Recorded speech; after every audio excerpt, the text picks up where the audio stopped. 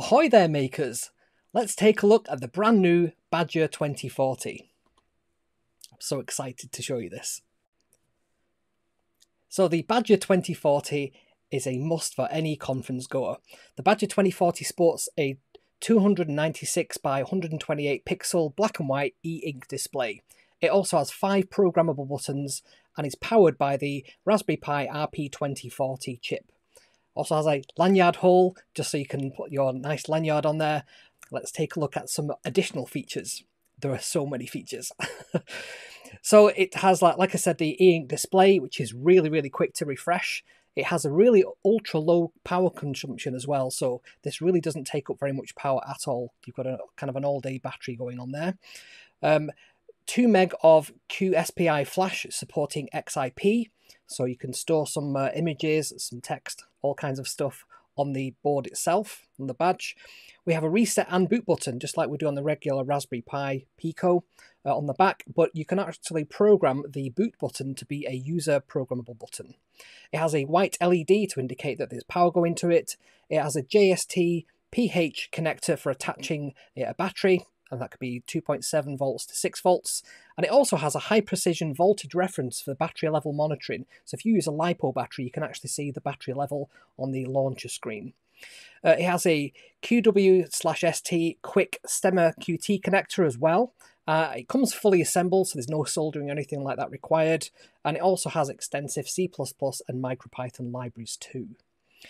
So of course this runs on the Raspberry Pi 2040 chip, so that's a dual core ARM Cortex M0 Plus, uh, and that's running 133 megahertz. Has 264k of onboard RAM. Uh, it's got a DMA controller, an interpolator, an integer divider for peripherals. It has two times UART, two times SPI, and two times I2C controllers as well. And it also has those 16 pulse width modulation channels too. Uh, it's got eight Raspberry Pi programmable PIO state machines as well, so you can offload some of the CPU tasks to those.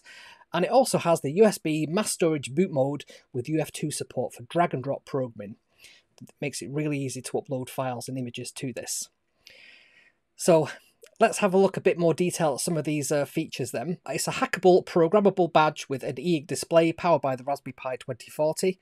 Um, you want to show your Badger the world? We put together a Badger Plus accessory kit as well, which contains batteries, a lanyard, and everything else you need to get yourself portobello.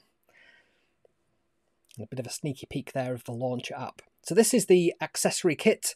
So it includes, as we've said, the badge itself, the two times battery, um, AAA battery holder, two times batteries, some Velcro squares so you can actually attach the battery container uh, to the back of the card. You don't actually have to have that attached as well. We'll have a look at that um, in a moment. It comes with a black lanyard um, made from recycled bottles as well, which is really good for the environment. And it also comes with a USB-C to USB-A cable, one meter long. The one I've got in the picture there isn't a meter long, just for a reference. So let's have a look at Badger OS. This is just amazing. They've really knocked it out the park with this. So Badger 2040 comes with Badger OS, a launcher with six built-in apps.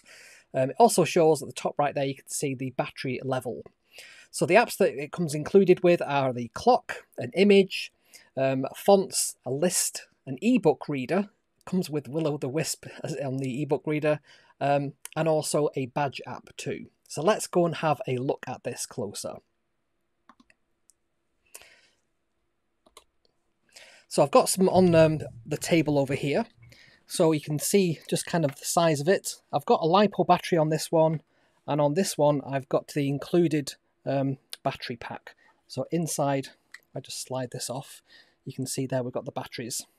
And I've also attached this just using the, uh, the Velcro squares.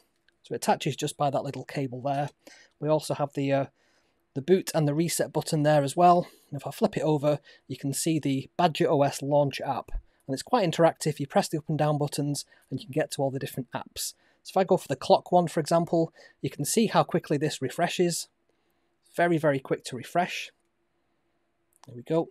Uh, let's have a look at the fonts program. So click on fonts. And we can see there, just by using the up and down arrow, an example of some of the fonts that we've actually got on here. We can go back as well. And then we have the, uh, the ebook reader, so let's click on that. And like I said, this is part of the Gutenberg um, ebook version of Willow the sorry Wind in the Willows by Kenneth Grahame. And if we use the down button, you can see there it's going to scroll through the entire book. So it does mean we can put text files on there. We can drop all kinds of information um, into this very very simply. Okay, if you scroll down to the next page, so we've got a couple more. So we've got an image. So I click on this. We've got the uh, Badger Punk there, Cyber Badger Punk. And if we go back down to the, the list, there's a list app as well. So let's click on that. You can see there any uh, prizes for guessing what Badger Badger Badger Badger Mushroom Mushroom Snake is all about. If you don't know, go to badgerbadgerbadger.com and you'll be enlightened. And then finally, the badge app itself. So there's an example. Um, now this is actually completely programmable. So let's take a look at that by plugging in a USB-C. So I've just got a Raspberry Pi just off to the side there. And let's go over to our shared screen. Let's go to that version. And if I load up, I've got a Raspberry Pi over here. I'm just going to press the uh, start stop backend and we can see here we've got a number of different files. So the files that we have on here, we've got one that's called badge.txt. So if I double click on that, it opens up this badge.txt. So let's say that I was going to change this to robot maker. And what else could we change? Um, job. So if I just control save that, that's now written it to the uh, to the actual device. And if I just uh, give this a bit of a reset, go down to the badge app,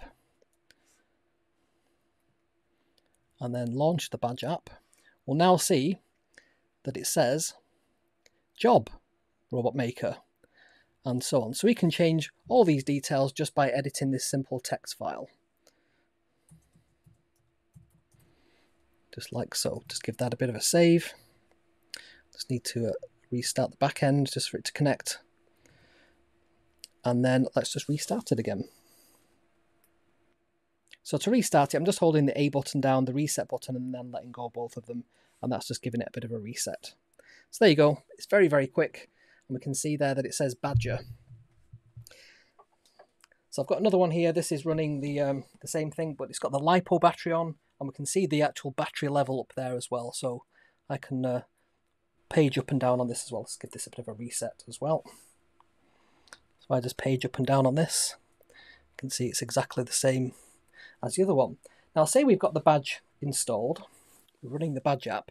Because this is an e-ink display, if I remove the power, so this has now no longer got any power running to it, it still keeps that display there.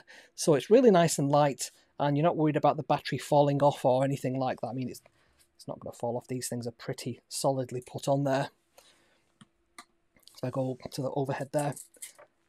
Now, by putting these stickers on, I've actually obscured some of the artwork, but it's the art that we've just seen on that image app. It's the uh, the Cyber um, Badger Punk.